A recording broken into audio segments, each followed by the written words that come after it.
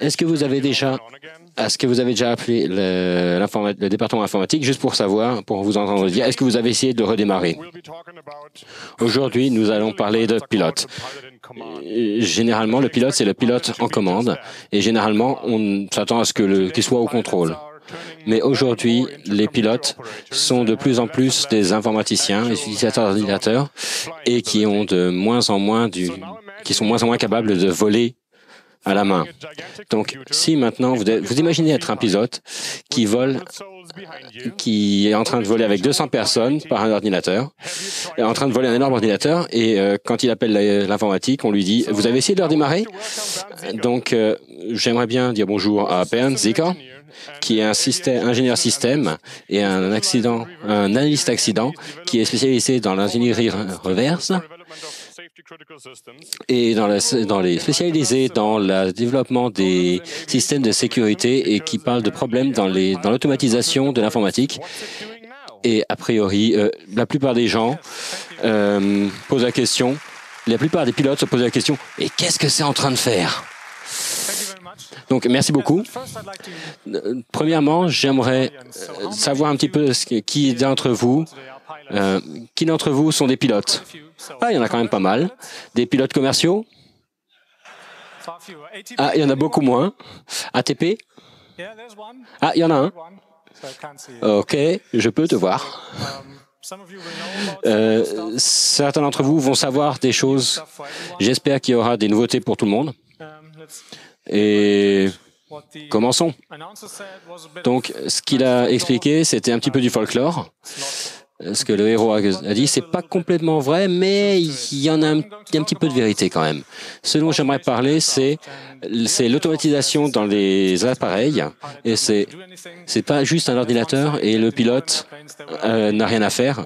Et sinon, il y aurait un pilote et un chien et le pilote est, et le, pilote et le pilote est là pour euh, donner à manger au chien et le chien est là pour mordre le pilote s'il couche-toi que ce soit. C'est pas encore exactement la façon dont c'est, mais euh, nous allons parler des méthodes d'analyse. Euh, des méthodes d'analyse d'accidents, pas uniquement dans l'aviation. Et ensuite, je vais vous expliquer une, de, une petite histoire de deux manettes de gaz et euh, comment les pilotes euh, réagissent aux problèmes ou pas selon les cas. Et sinon, j'ai vu beaucoup de, beaucoup de présentations à propos de voitures qui se conduisent elles-mêmes. Nous allons en parler un petit peu aussi et avoir une, une conclusion préliminaire. Et je ne sais pas si je suis correct. Donc, qu'est-ce que c'est que l'automatisation dans les, dans les avions? Le plus intéressant, c'est que les, dans tous les avions et dans beaucoup de petits avions, il y a tous, toujours, ils sont requis. Il faut au moins un simple, il faut au moins un pilote automatique si vous voulez voler aux instruments. Euh, ça a été un petit peu détendu, mais euh, il y a beaucoup de petits avions qui ont toujours ces pilotes automatiques. Donc il y a trois niveaux de, de vol. Le premier, c'est manuel, où le, manuel, où le pilote bouge les contrôles et l'avion fait ce qu'il dit. Ensuite, il y a l'autopilote simple où le pilote set, euh, où le, règle plusieurs choses, la vitesse, l'altitude, etc. Et la troisième, c'est il y a beaucoup plus où il va y avoir des euh, points et l'altitude. Et le troisième, où il y a un plan de vol qui est rentré à l'avance et où l'ordinateur euh, prend le contrôle de toutes les étapes de régler les altitudes et les vitesses. Il y a beaucoup de systèmes qui sont contrôlés par le, par le, contrôle automatique, euh, typiquement les, les spoilers au sol, les volets, et aussi des systèmes accessoires. Par exemple, la pressurisation de la cabine est entièrement automatisée de nos jours. Euh, alors, qu'est-ce que l'automatisation dans les avions n'est pas euh, Ce n'est pas un pilote en plus. Le, pilote euh, qui, le pilote en commande est toujours le pilote de l'avion. L'autopilote peut gérer la plupart des actions euh, à part dans quelques cas extrêmement rares, avec des incidents euh, assez exceptionnels, l'autopilote fait ce qu'on lui dit de faire.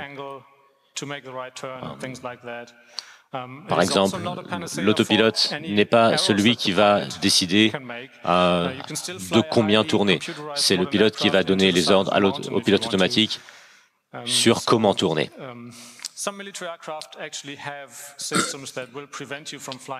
Quelques euh, avions militaires ont des systèmes qui vont détecter les montagnes et éviter de voler euh, en plein dedans. Mais dans tous les cas, la responsabilité euh, d'avoir un vol sûr et de décider où aller incombe toujours au pilote en commande. En mode manuel, il n'y a pas d'automatisation. Euh, c'est au manche et au gouvernail. Euh, on bouge le manche, on bouge le gouvernail, l'avion va dans une direction. Euh, c'est parfois légèrement assisté sur certains avions, vous en avez peut-être entendu parler. Le mode euh, pilote automatique a deux modes, le mode sélectionné et le mode manager. Le mode sélectionné euh, est plus simple, le pilote entre le cap, l'angle de l'angle de grimpage et la vitesse. Le mode manager, le, pilote peut rentrer euh, des informations de plus haut niveau et l'ordinateur décide du cap, de la vitesse, etc. dynamiquement. Um, c'est pas des systèmes extrêmement fiables. Si un des sous-systèmes euh, ou une des entrées euh, donne des informations qui sont qui divergent un peu de ce que le pilote automatique attend, le pilote automatique va euh, se déconnecter. Ils ne peuvent pas gérer quoi que ce soit d'inattendu. Et la plupart du temps, les organes de décision euh, sont triples. Si un d'entre eux euh, est en désaccord, les deux autres peuvent décider de quoi faire. Mais si deux décident qu'ils ne savent pas comment procéder, le système se déconnecte. Alors, on va parler euh, très brièvement de la méthode formelle euh, qu'on a développée pour l'analyse des accidents. On appelle ça le pourquoi parce que, l'analyse pourquoi parce que. Euh, c'est une façon de formaliser la causalité dans les, dans les accidents. On parle de, on essaye d'analyser comment un incident a pu se produire sur un avion. Et quand, quand des gens, quand plusieurs experts, il y, a de l'objectivité, le plus d'objectivité possible dans le processus. C'est-à-dire que quand plusieurs experts euh, font la même analyse, ils ont, dessinent généralement le même graphe à peu de choses près. Alors, l'automatisation, l'automatisation, c'est difficile. C'est difficile de le faire correctement. Hum. Quand on a un un objet qui se déplace, un avion, un train, une voiture. Il n'y a pas d'état par défaut qui, qui est sûr. On ne peut pas juste tout éteindre et décider que tout va bien.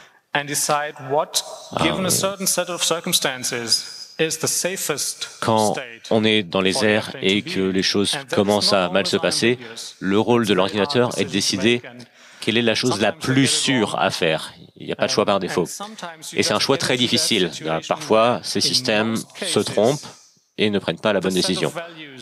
Alors, dans la plupart des cas, les données que le système automatique reçoit, quand, quand nous arrivons dans des situations où il y a plusieurs, où il y a où on s'attend à, où les entrées sont les mêmes, mais la décision est fausse. Il y en a très peu, c'est très rare, mais il y en a. Ça arrive. Quelques décisions que les ingénieurs ont besoin de prendre en, faisant le design, euh, c'est que faire si quelque chose ne fonctionne pas, si quelque chose casse, si une combinaison, si des choses individuelles ou des combinaisons, quand les petits moteurs, les engins, des senseurs, des capteurs. Que faire? Que faire dans ces cas avec le reste des systèmes et que dire aux pilotes? Si on pourrait s'attendre à ce que le pilote veut savoir tout ce qui est euh, cassé, quelques petites valves, euh, quel capteur, mais, mais si tout, va, tout est faux, dans ce cas, si tout tombe en même temps, lesquelles sont les plus importantes? Lesquelles doivent être communiquées au, à l'équipe de vol? Et ça peut et ça peut euh, donner une saturation du pilote s'il a trop d'informations, puisqu'ils ne savent plus ce qui est, puisque les alarmes viennent de tous les côtés, ils savent plus donner de la tête. Il y a beaucoup, beaucoup d'écrans qu'ils doivent regarder, d'affichage, et certains, certains messages d'erreur sont supprimés dans certains moments, à certains moments du vol, juste pour ne pas surcharger le pilote. Et euh, des choses qui sont absolument essentielles au sol, par exemple les spoilers des les spoilers d'aile dans le touchdown. Ils sont très importants pour l'atterrissage pour que l'écran, pour que l'avion ne saute plus, mais puisqu'il est, puisque l'avion est, est à une vitesse dans laquelle il pourrait encore voler, donc, donc ils sont largement au-dessus de la vitesse minimale pour voler, pour être, donc il faut ces spoilers histoire de, pour être sûr que l'avion ne se remette pas à voler. Mais les spoilers détruisent complètement la, portée. Donc, il ne faut pas les, les, ouvrir en vol, les déployer en vol. Donc, l'ordinateur doit être absolument certain que l'avion est déjà au sol quand il déploie les spoilers. S'il fait ça quelques secondes trop tôt, alors que le, alors que l'avion est encore une centaine de mètres au-dessus du sol, il va y avoir un accident fatal.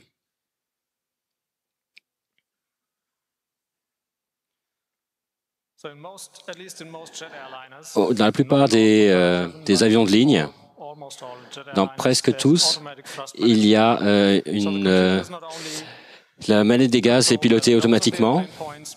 Non seulement, il contrôle aussi combien de puissance va aux, euh, va aux réacteurs.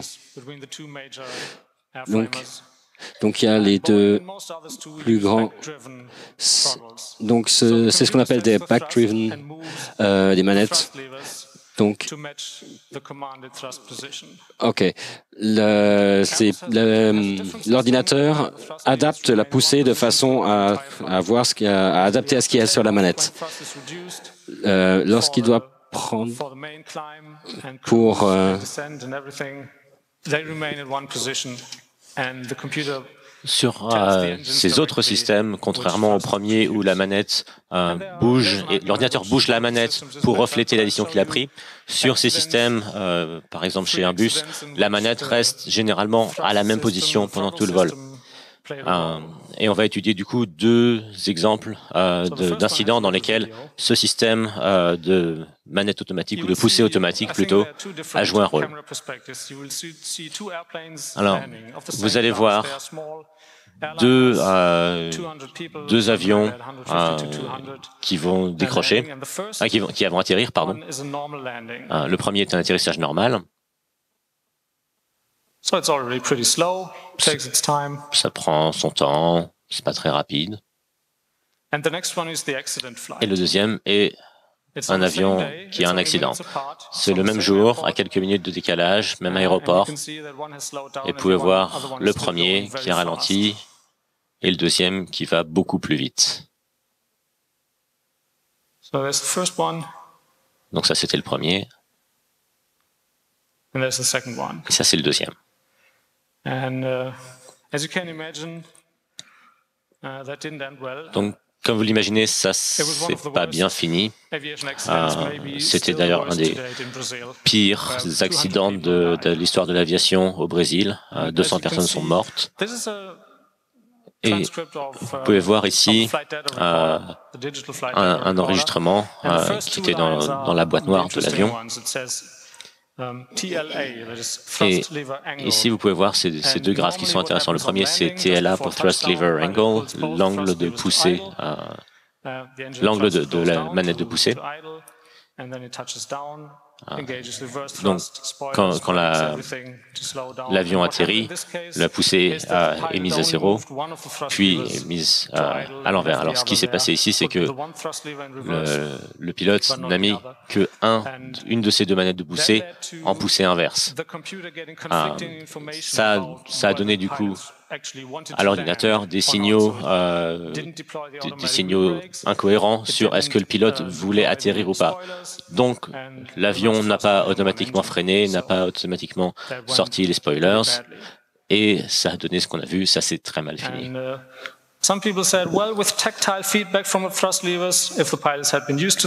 Donc, il y a des gens qui se sont dit, oui, mais avec euh, des, des, manettes automatiques euh, à retour tactile, le pilote aurait su ce qui se passait et ça ne serait pas passé comme ça. Donc, il y a des gens qui ont dit que les manettes automatiques, les, les manettes qui bougent toutes seules, auraient évité cet accident. Alors, est-ce que c'est vraiment toujours mieux? Voilà un autre accident euh, lié au contrôle de la poussée. Dans ce cas-là, c'était un Boeing, un Boeing 737 à Amsterdam Schiphol. Il y a eu un petit défaut euh, technique. et ça a poussé l'ordinateur à croire qu'il était encore à, une trentaine de mètres au-dessus du sol.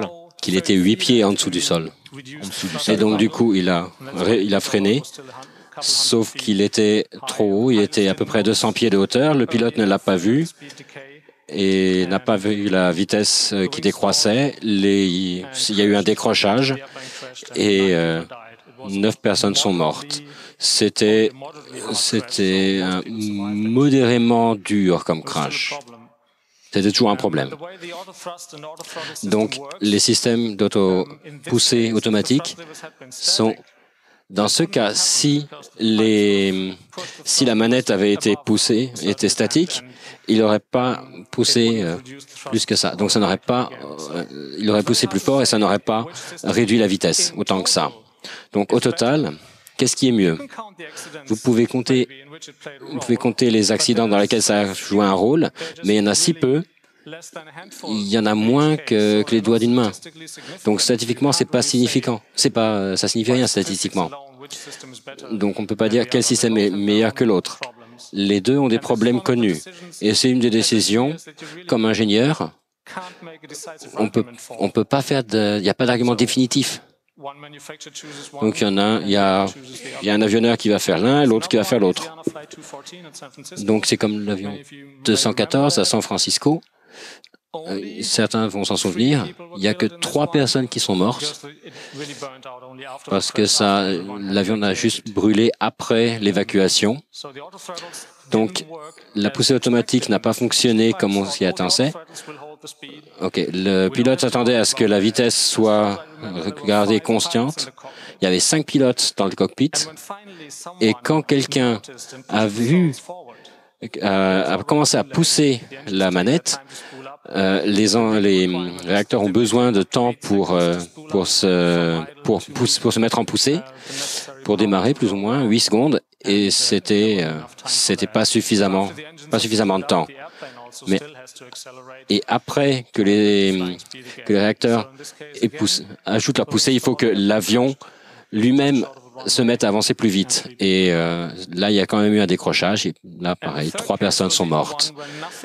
Et des fois, il y a des fois où il n'y a rien qui est faux avec, euh, qui, qui, est cassé dans l'ordinateur. Ça, ça, fonctionne comme c'est censé fonctionner. Mais euh, les personnes qui ont on espère que les gens qui volent savent tout, qui ont plus de training. Est-ce que est-ce qu'il faut plus d'entraînement? Euh, possible. Euh, est-ce qu'il faut des crew resource management? C'était un gros, un gros débat dans les dernières décades. Le pilote en commande n'est pas un dictateur. Il a besoin, il faut qu'il écoute les autres, même si c'est lui qui prend la décision finale. Mais est-ce que les pilotes font toujours des bêtises? Euh, par exemple, par chance, non. Par exemple, euh, cette fois-ci, il n'y a pas eu de. Il y a deux, il y a deux personnes qui ont réussi, par exemple, à sauver. Tout le monde connaît euh, Chesley Sullenberger, le movie, le film vient juste de sortir. Excellent pilote, superbe décision pour trouver la plus grosse surface plate dans, le coin. Sinon, Peter Buckhill, vert, qui connaît Peter Buckhill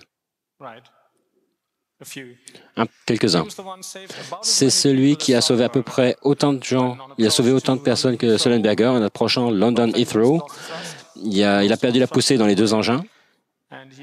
Et il a réussi à poser l'avion dans l'aéroport, mais après, mais pas encore sur la piste d'atterrissage. Ça a été un atterrissage, ça a été un crash, mais il n'y a pas eu de mort. OK. Donc les avions, c'est une chose. Mais euh, il y a aussi les voitures. Et est-ce que quelqu'un a une voiture qui se conduit toute seule ou qui utilise euh, les changements de voie, l'aide pour le changement de voie? Pas tant que ça. Donc il y a beaucoup de gens qui n'ont pas l'air de leur faire confiance à ces nouveaux systèmes. Une des grosses différences, est que les pilotes vont faire voler des... Les, les pilotes qui font voler des avions de ligne ont beaucoup, beaucoup d'entraînement et ils apprennent sur cet avion, ce modèle spécifique. Et c'est très contrôlé, il y a beaucoup de régulation. Et, et pour les voitures, d'habitude, s'il y a un problème, tu poses, tu te mets à droite, tu stops et tout va bien. Et les voitures ne peuvent pas décoller dans la troisième dimension. Et il y a beaucoup, beaucoup d'obstacles au sol. Il y a des avions, des gens, des voitures, des maisons. Alors que dans l'air, généralement, il n'y a pas grand-chose. C'est pas complètement vide. Les collisions en l'air arrivent, mais elles sont très rares. Le système automatique dans une voiture automatique ou dans les voitures autonomes que nous avons aujourd'hui ont besoin de, surveillance. Et si le système fonctionne trop bien, les pilotes, le, conducteur peuvent l'oublier et penser que c'est parfait. Et, euh, et, du coup laisser leur attention euh, divaguer. Les pilotes font ça aussi de temps en temps, mais dans une équipe, c'est une équipe. Si, y a, si le pilote automatique tombe, il a quelques minutes pour réagir, au moins quelques secondes. Alors que sur une voiture, s'il y a un problème et vous êtes dans une cour, euh, vous avez des fractions de secondes pour sauver la voiture. Alors,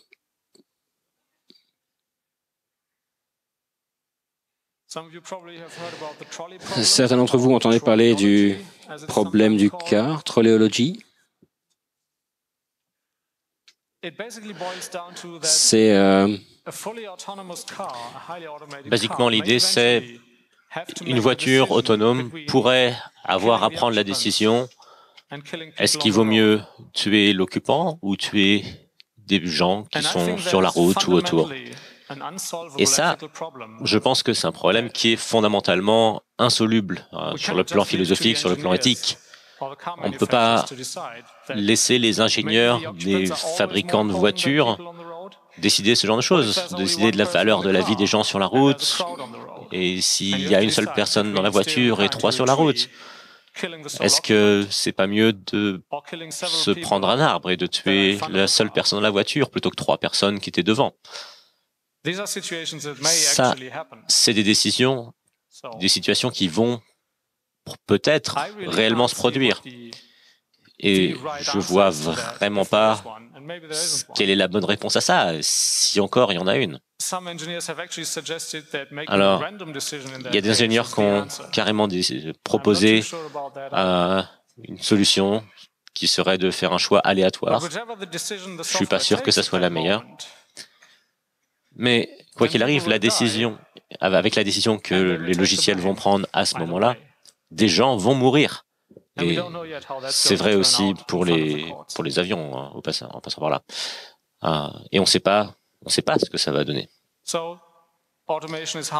Donc, l'automatisation, c'est difficile. Et dans certains cas, comme les voitures autonomes, peut-être que c'est impossible de faire ça parfaitement quel est l'état dans lequel euh, le système doit se trouver pour être le plus sûr possible Qui sait C'est très dur de réussir à trouver la bonne réponse à ça, même dans des systèmes comme les avions. qu'est-ce qu'il faut afficher à l'opérateur et quand? Dans bien des cas, ça aiderait beaucoup le pilote quand le système automatique s'arrête de savoir des détails précis, euh, vraiment des détails de comment le système marche. Et il y a des diagrammes logiques dans les manuels des pilotes, mais ils sont à titre informatique, à titre informatif seulement. Euh, ils ne sont pas à connaître dans les, dans les examens. Ah, par exemple, quand on parlait des, des spoilers au sol, euh, c'est intéressant de savoir quelles sont les conditions exactes que l'ordinateur veut satisfaire avant de déployer ces spoilers. Certains de ces problèmes, je pense, ne peuvent pas être laissés aux ingénieurs seulement. Il faut des psychologues, peut-être des sociologues, d'autres gens qui savent comment marche la psyché des humains, comment les humains réagissent, comment ils pensent, comment ils euh, utilisent les informations pour qu'on puisse guider les ingénieurs, pour qu'ils conçoivent des systèmes qui permettent de prendre les meilleures décisions. Et il faut savoir et il faut être conscient que certains de ces problèmes, peut-être, resteront insolubles. Merci. Je pense qu'on a un peu de temps pour les questions.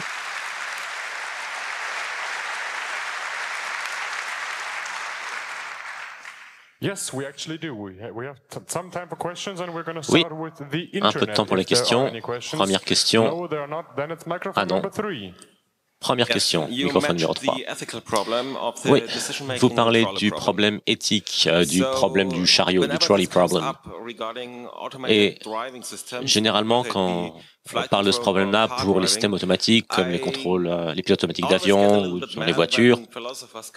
Euh, ça m'énerve toujours un peu quand c'est les philosophes qui en parlent. Il y a une décision qu'on peut faire et qui est le système devrait être prédictible, euh, notamment quand on parle des voitures. Ce qui est le plus important, c'est que tous les participants agissent d'une façon euh, prédictible, d'une façon déterministe. Sortir d'une euh, de, la de sa voie, c'est la chose la plus dangereuse qu'on puisse faire. Et du coup, en cas de problème, cette décision n'est pas la même, pas la bonne. La décision définitive, c'est continuer à, conduire vers la voiture devant nous. Merci de poser votre question. La question est, pourquoi est-ce qu'on dit que ce problème ne peut pas être résolu de façon éthique? Alors, si c'était que des humains qui avaient à résoudre ce problème, s'il n'y avait que des voitures qui résoudre ce problème, oui, mais les, voitures, les humains ne sont pas déterministes. Ce n'est pas quelque chose qu'on peut prédire. Et on ne peut pas exiger des humains qu'ils se comportent de façon déterministe.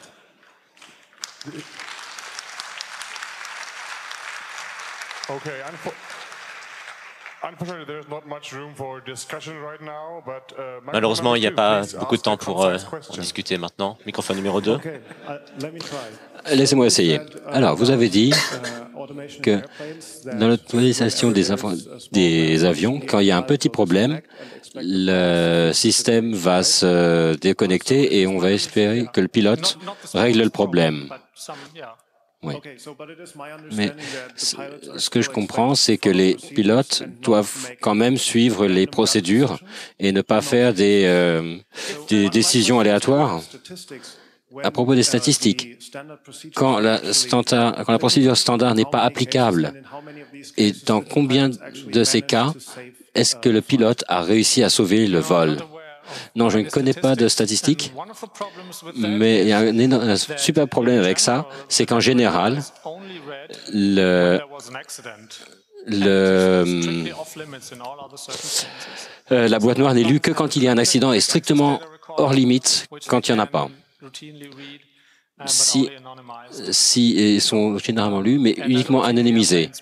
Donc, je ne pense pas qu'il y aurait de qu'il y aurait des statistiques à propos de ça. Micro numéro 4. Je veux juste, euh, je voulais demander le système IT Security, où je, ce que je trouve très bon, de la façon dont les, accents, dont les accidents sont gérés, c'est que le rapport est complètement public. Si vous voulez lire, si vous voulez lire les, tous les détails techniques de la catastrophe Challenger. Et tout, toutes ces informations est là. Et la question, pourquoi est-ce que ce n'est pas dans l'informatique? Pourquoi est-ce qu'on n'a pas ce genre de choses? Et on n'a pas encore réussi à atteindre ce stage où toutes les données et l'analyse des données est publique pour que tout le monde puisse en apprendre. Et ça a été la... Excuse-moi. La question, la réponse simple, c'est qu'il n'y a pas de, on n'en a pas besoin légalement. Um, et si c'était si c'était obligatoire, si les, si c'était pas obligatoire, personne ne le ferait. Parce que c'est, c'est très embarrassant d'avoir un accident. C'est probablement la chose. Dernière question. Microphone 1. Une des raisons pour lesquelles on a une automatisation dans les avions, c'est pour réduire la charge de travail des pilotes, parce que trop de travail sur un pilote cause des accidents. Et dans ce dont vous parlez, quand, ce que ce qu'elle est en train de dire, c'est quand quelque chose se passe mal, euh, ça, ça, met encore plus de pression sur le pilote parce que le pilote doit se demander mais qu'est-ce que qu'est-ce que le système est en train de faire maintenant? Alors qu'est-ce que vous pensez de ça je pense que l'approche classique, c'est d'automatiser encore plus. C'est-à-dire que si ça, ça échoue, le pilote a encore plus de travail. Mais le, mode de pensée là-dessus évolue un peu et euh, les, fabricants, les avionneurs, euh, ont de plus en plus quand même l'idée de laisser le pilote voler en mode manuel euh, plus souvent. Pendant assez longtemps, on pensait qu'il fallait automatiser le plus possible et qu'il n'y avait que le décollage et l'atterrissage qu'il faudrait faire à la main. Et maintenant, le, mode de pensée a un peu évolué à il faut mettre le bon niveau d'automatisation. Euh, c'est-à-dire, par exemple, de, faire une partie de l'atterrissage automatique, mais de faire l'approche à la main. Ce qui permet aussi de garder les pilotes, de, laisser aux pilotes euh, la pratique euh, dont ils auront besoin en cas de problème. Um, Merci. Un grand, euh, beaucoup d'applaudissements pour Bernd Zicker.